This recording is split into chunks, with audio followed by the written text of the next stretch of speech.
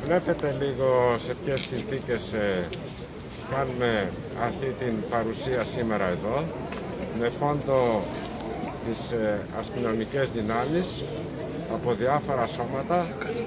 Ε, χτες το βράδυ ήρθαν εδώ ορισμένοι καθηγητές και εκπρόσωποι φοιτητικών συλλόγων για να δηλώσουμε τη θέση μας απέναντι στις αστυνομικές δυνάμεις ότι θα πρέπει να αποχωρήσουν για να λειτουργήσει επιτέλους το Πανεπιστήμιο ομαλά. Και Πανεπιστήμιο δεν είναι μονάχα το κτίριο διοίκησης, αλλά είναι οι 30.000 φοιτητές, εργαζόμενοι και καθηγητές που διεκπεραιώνουν εδώ θέματα που έχουν να κάνουν αυστηρά με την εκπαίδευση και την έρευνα και μάλιστα σε τέτοιο βαθμό που καθιστά το δικό μας το Πανεπιστήμιο από τα περίοπτα στον κόσμο, με πολύ καλή σειρά. Συνεπώς, η εύλογη αυτή απέτησή μας να αποχωρήσουν οι αστυνομικές δυνάμεις μετουσιώθηκε σε αυτή ακριβώς τη συνάντηση που κάναμε χθες αργά το απόγευμα. Οι απαντήσεις που πήραμε από την αστυνομία ήταν ότι οι φοιτητές, οι προπτυχιακοί, οι μεταπτυχιακοί υποψήφοι διδάκτορες που εκπονούν τις εργασίες τους αυτό το διάστημα δεν μπορούν να εισέλθουν στο Πανεπιστήμιο, δεν μπορούν να προσεγγίσουν το Πανεπιστήμιο.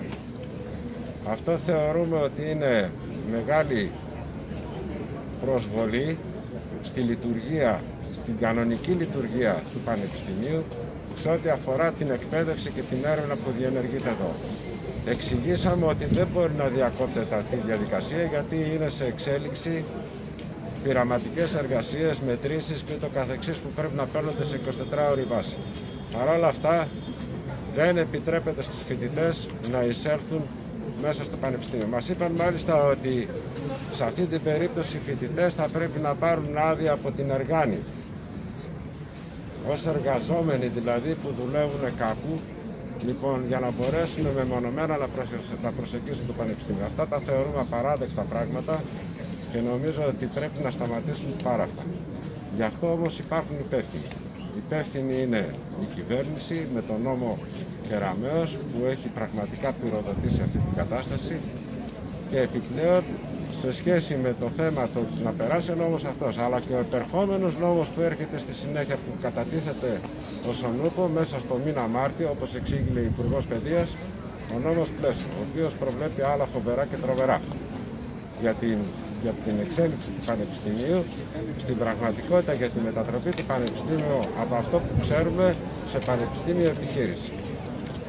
Με αυτή την έννοια λοιπόν, εμείς θα είμαστε εδώ, θα συνεχίσουμε τον αγώνα μας μέχρι να απελευθερωθεί το Πανεπιστήμιο.